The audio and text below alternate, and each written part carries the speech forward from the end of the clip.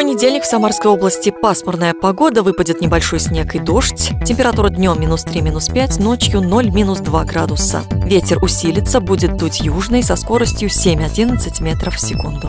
В Сызрани пасмурно, осадки в виде дождя и снега. Днем минус 2 градуса, ночью нулевая температура. Ветер южного направления 9 метров в секунду.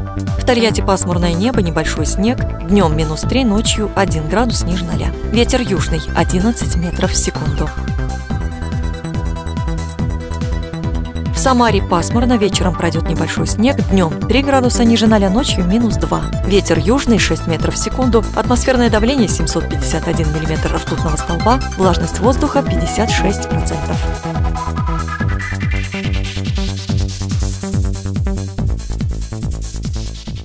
Прогноз погоды предоставлен независимым городским сайтом samara24.ru.